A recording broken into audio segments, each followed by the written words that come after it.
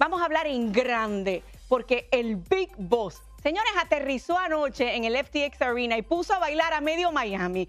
Señores, Daddy Yankee se presentó a casa llena como parte de su gira La Última Vuelta, con la que pone fin, yo todavía no lo puedo creer, a una carrera musical de más de 30 años.